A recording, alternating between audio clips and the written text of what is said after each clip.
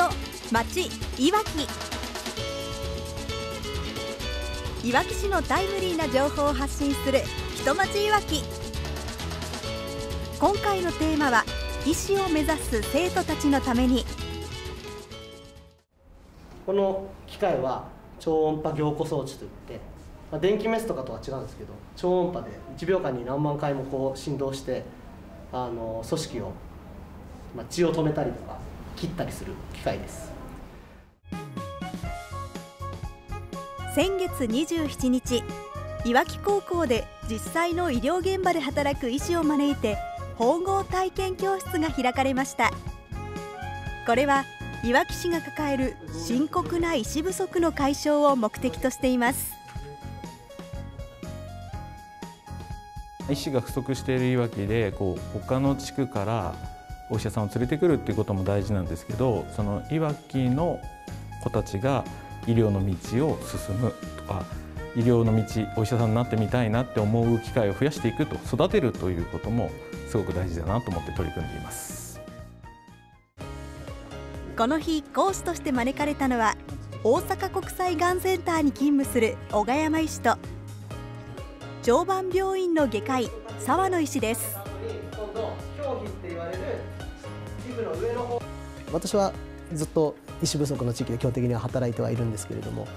まあもちろん大変なんですがやりがいがあることだと思うのでもちろん最初は都会で働いてあの技術を身につけてからでも結構なんですけれども、まあ、いわきに戻ってきてこの地域とか、まあ、ここじゃなくても医師が足りないところでぜひ働いてほしいなと思いました。縫合体験教室に参加したのはいわき高校に今年度から新設された医学コースの1年生。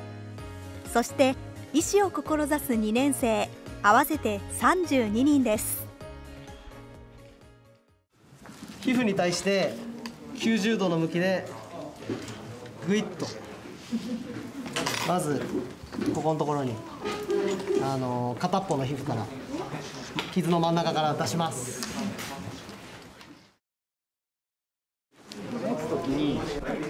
先を持った方が絡まなくて済むからこっちを持つあじゃなくてああこれを。そうそう掴むのをここで持つとこっちが引っかかんじゃん。だからこっちもうちょい先端を持つんです。医療の現場で実際に働く医師から指導を受けられるまたとない機会に生徒たちも真剣に取り組んでいました。こういうふうに機会を設けてもらって一つ一つ